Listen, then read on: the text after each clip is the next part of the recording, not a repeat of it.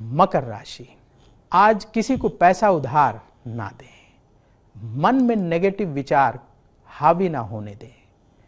प्रतियोगिता के क्षेत्र में आपको सफलता मिलेगी। छोटे रोगों को हल्के में ना लें।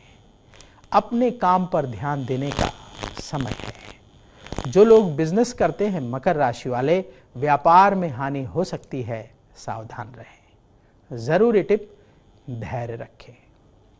शुभ रंग आसमानी उपाय किसी गरीब को आटे का दान करें।